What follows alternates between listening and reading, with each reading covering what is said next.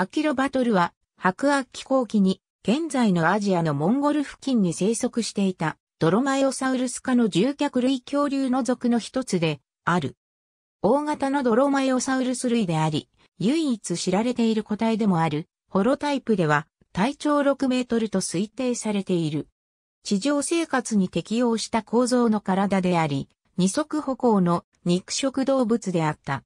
活発な捕食者であり、第二子にある長く伸びた鎌状の鍵爪で狩りをしたと推定される。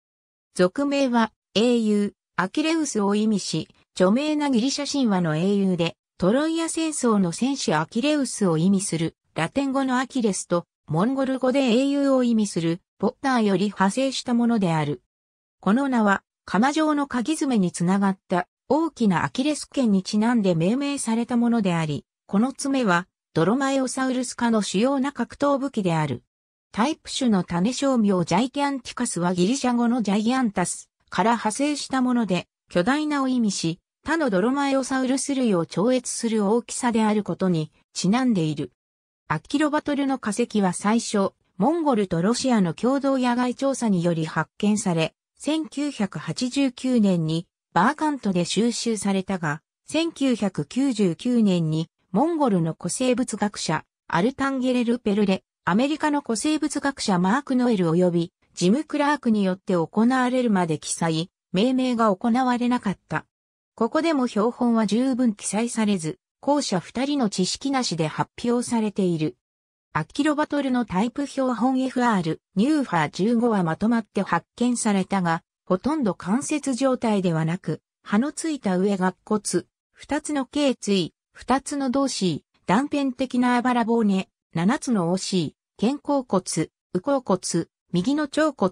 恥骨、座骨を含む骨盤、頭骨、不完全な手、左の大腿骨と頸骨、不完全な足の骨で構成されている。スミスアットあるでは、頸骨の長さが 490mm であることから、この恐竜が2番目に大きなドロマイオサウルス類であることを特筆している。大腿骨は 505mm で頸骨より3%長く、ドロマイオサウルス類では珍しい特徴である。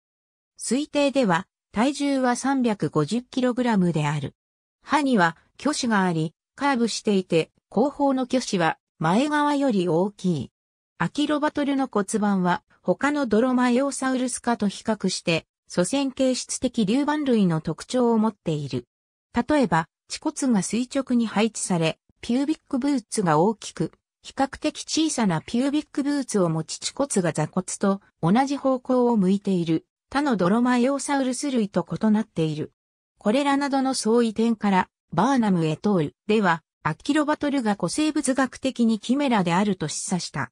しかし、別の研究者は化石の多くの要素が関節状態で発見されたことと、すべての要素が同じ色と保存状態だったことと、これらの相違点を含めても常にアキロバタルが系統解析でドロマイオサウルス科として現れることからキメラである可能性を論破している。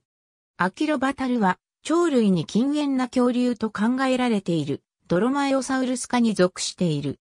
他の獣脚類とドロマエオサウルス科の系統関係がよく理解されている一方、ドロマエオサウルス科内の系統関係はよくわかっていない。ロングリッチカーリーやセンターへ通るなど、最近の系統解析では、アキロバタルはドロマエオサウルスアカに属し、北アメリカの種であるユタラプトルやドロマエオサウルスに最も禁煙であることが示されている。同じくドロマイオサウルス科であるデノニクスやベロキラプトルは、家内の別の枝に配置される。気象とは、生物種を他のすべての生物から正確に識別するための解剖学的特徴の説明である。すべてではないがいくつかの気象となる特徴は固有派生形質である。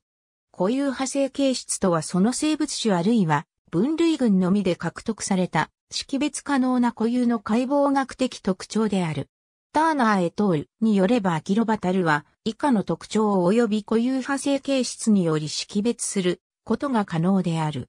アキロバタルの化石はモンゴルのドルの語尾県にあるバインシレ層にある白亜紀に堆積したキメの細かい砂岩、ハイレーガンから発掘された。二つの対立仮説があり、正確な年代は確定していない。他の類層との比較に基づくと、バインシレ層の動物賞は、白亜紀後期の中論期からカンパニア紀初期のものと一番よく一致する。しかし、類層の地磁気相女は、バヤンシレ層前が、クラテイショスロングノーマルのもので、これは、三トン期の終わりまでしか続かなかったため、地層の年代は、セノマン期から三トン期のものと推定される。バインシレ層の古動物賞には、ティラノサウルス科のアレクトロサウルス、テリジノサウルス科のセグノサウルス、アンキロサウルス科のタラルルス、ハドロサウルス科のバクトロサウルスや、竜脚類、アズダルコ科の翼竜が含まれている。ありがとうございます。